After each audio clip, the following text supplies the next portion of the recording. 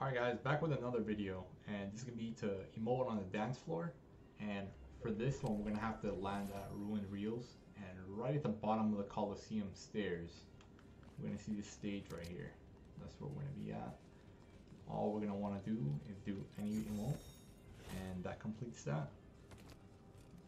Alright guys, thanks for watching. Like, subscribe, and comment and I'll be posting the rest of these quest videos.